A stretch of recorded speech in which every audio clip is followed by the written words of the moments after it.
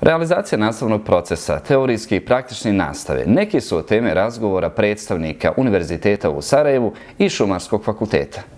Povodom početka studijske 2017. i 2018. godine, a nakon prve godine mandata na funkciji rektora i prorektora Univerziteta u Sarajevu, profesor dr. Rifat Škrijelj je zajedno sa prorektorima bio u posjeti Šumarskom fakultetu u Sarajevu, gdje je upriličen sastanak sa dekanom ove visokoobrazovne institucije, profesorom dr.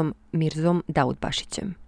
Vrlo smo zadovoljni kao univerzitet sa suradnjom sa Šumarskim fakultetom koji iduće godine obilježava 70 godina svoga postojanja i mislim da u periodu koji je pred nama, u periodu koji je pred nama, slijedi, siguran sam, jedan vrlo ozbiljan trend razvoja ovog fakulteta koji ovog časa ima relativno mladu nastavničku strukturu.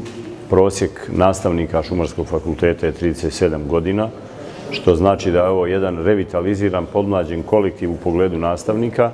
Posjeta je organizirana kako bi se sagledalo aktuelno stanje s ciljem kontinuiranog razvoja Univerziteta u Sarajevu, evidentirala eventualne poteškoće te unaprijedila saradnja.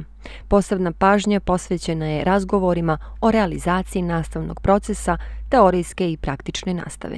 Ono što je zajednički zadatak univerziteta i Šumarskog fakulteta i drugih fakulteta jeste borba za obezbeđivanje većeg broja asistenata i u tom pogledu očekujem podršku vlade kantona Sarajevo, tako da sam vrlo zadovoljan današnjim sastankom i ponosan na jedan ovakav fakultet. Rektor Škrijelj je istakao da je sastanak organiziran sa ciljem unapređenja saradnje te upoznavanja sa aktuelnostima na fakultetima. Također je kazao da se nada da će u narednom periodu uslijediti ozbiljan trend razvoja organizacijonih jedinica Univerziteta u Sarajevu.